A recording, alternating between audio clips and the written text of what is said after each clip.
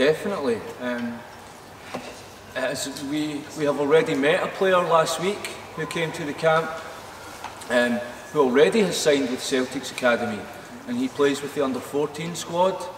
Um, and the, the standard of the players that we worked with last week and this week, um, there is no doubt in my mind whatsoever that, that another one or two or three Polish players are good enough to play for Celtic's Academy.